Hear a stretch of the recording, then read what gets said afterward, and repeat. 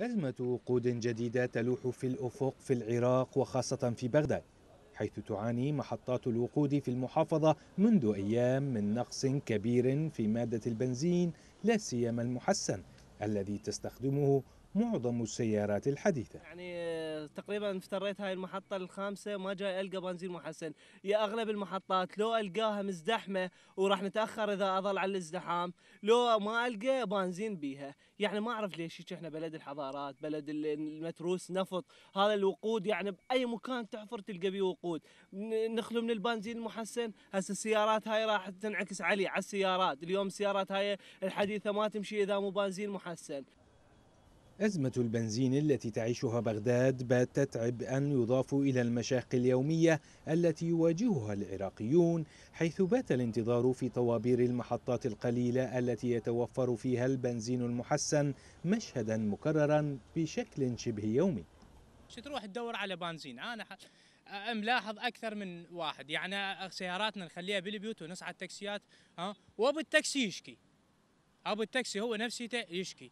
بنزين محسن ماكو والبنزين خانه الذي تلقى بها بنزين محسن تلقى السيره واصل لهناك فد 50 60 متر آه، البنزين زين اذا أنا موظف الساعة ب 8 عندي دوام.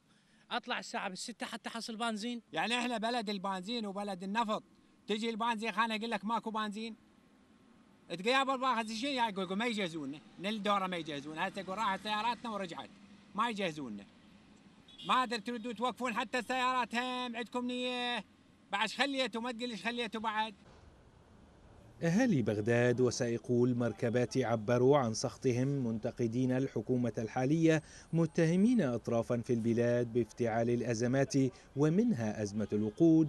في بلد يكاد يكون الأغنى في احتياطي النفط. موجودة أزمة بس الأزمة مفتعلة. مفتعلة يعني. ماكو شيء أكيد يعني. كل شيء متوفر عندنا. أنا في لحظة من اللحظات أخليك توصل إلى مرحلة من الرفاهية.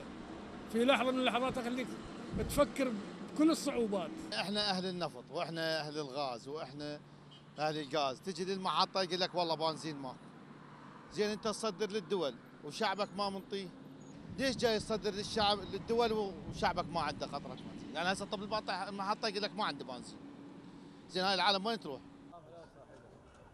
السلطات الحكومية تنفي بدورها وجود أزمة معللة الازدحام بزيادة الطلب نتيجة ارتفاع أسعار المنتج في كردستان العراق. لا توجد أي شحة بمنتوج البنزين الممتاز المباع للمواطنين بسعر 450 دينار. الكميات متوفرة بكافة المستودعات ولكن هناك زيادة على الطلب بسبب ارتفاع الأسعار في إقليم كردستان لهذا المنتوج.